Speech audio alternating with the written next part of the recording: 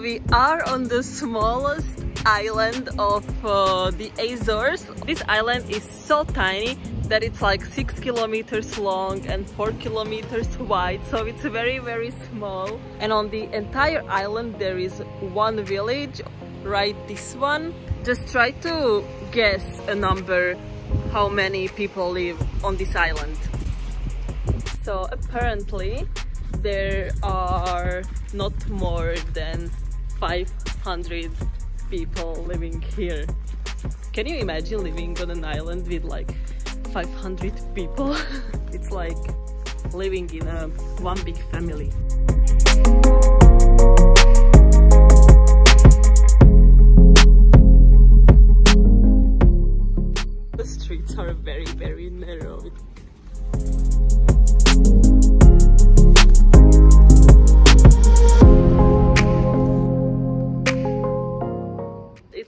Very small but there is a school there is a kindergarten there is the town hall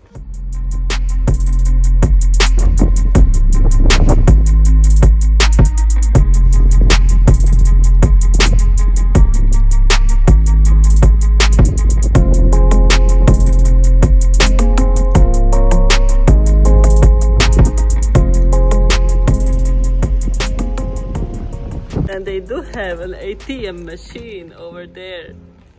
One. And I also read before I came here which this is I guess a proof that piracy was very very common here on Corvo. Right now we are going to walk up to a viewpoint and yeah we are gonna see how is the view gonna be since it's uh, a bit cloudy otherwise there is really not that much to do here. Mainly it's fishing and hiking but besides of that and when it comes to the economy of the island i read that of course besides of all these teachers and police and people employed in the town hall people also raise cattle and this is the only village on this island. It's also possible to see the airport right there with like a tiny little small house. Then on the left from the airport there is the port.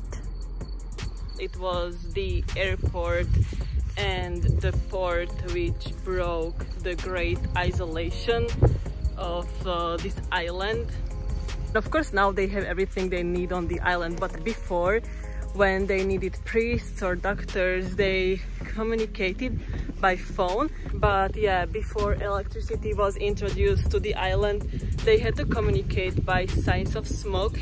And here is another like funny thing that uh, these black well kind of stone walls they divide properties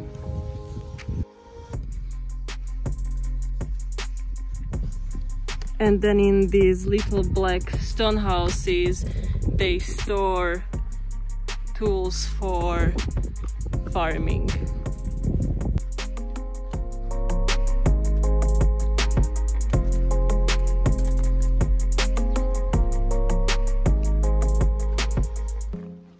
Can you imagine this like a month ago when it was all blue?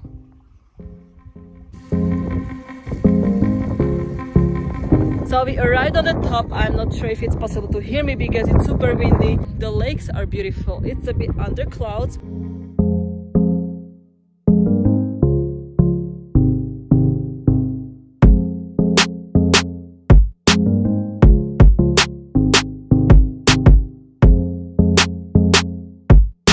This is the island of uh, Corvo. It's very, very small. And this is the place where the campsite is at it's even shown. Right now we are up here so we have to walk all the way down.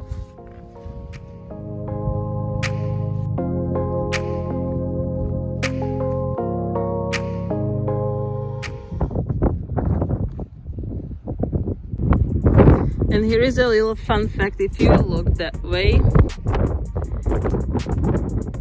it's like the Indian's face, I guess, there. yeah but this is like wow super pretty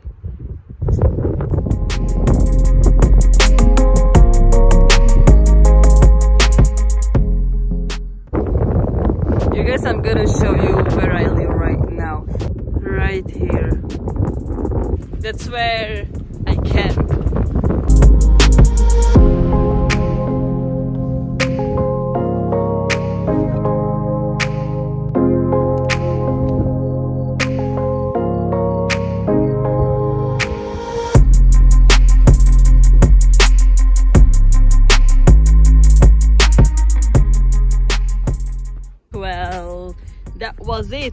Very very soon we are gonna arrive back to the village. For some reason Corvo was the island I wanted to visit the most out of all the other islands. I think it's just extremely insane and cool how this small community of people in the middle of the Atlantic functions. It's a very nice uh, thing to experience, although I would not like to live here to be honest but to see it it's very amazing. There is this last thing which I just want to show right by the camping which is there. There is this cute little beach.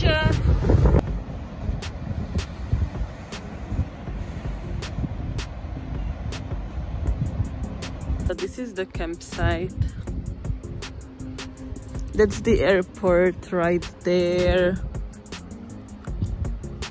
I'm also gonna show you the bathroom and the showers.